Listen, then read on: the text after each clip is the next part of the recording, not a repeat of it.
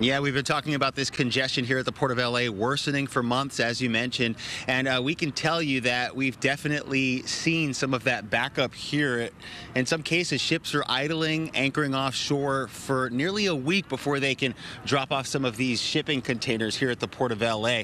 And part of President Biden's plan today is a shift at the port to operate 24 hours a day, seven days a week. It's a push from the White House to clear supply chain disruptions, slowing the nation's economic recovery from the pandemic. So as of yesterday morning, there were 58 container ships reported offshore waiting to unload. Biden's scheduled to make an announcement today about a similar plan that's already in place at the Port of Long Beach. It includes nearly doubling the number of hours that cargoes transferred from container ships offshore to delivery trucks on highways. Crews will work overnight with union members reportedly filling the extra shifts, and major shippers and retailers, including Walmart, FedEx, and Samsung, have already agreed to unload during off peak hours, freeing up more space on the docks. But experts say these delays are expected to impact holiday shopping start to put your Christmas list together and holiday list together early. Get those must have things now because they definitely will be in short supply because we're seeing a shipping crisis like we've never seen before. There'll be merchandise to buy.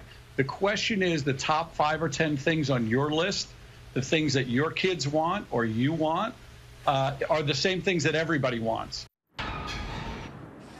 And with his announcement today, the president's goal is to process and unload 3,500 extra containers during the night each week. Our local ports here account for over 40% of shipping containers making their way into the U.S. The Port of L.A. is the busiest it's been in its 114-year history, so we'll have much more later on after the president's speech this afternoon. Reporting live in San Pedro for now. Back to you in the studio. Okay, Mario, thank you. And Republican Congresswoman Michelle Steel is introducing legislation that would ban cargo ships from idling or anchoring within 24 miles off the Southern California coast.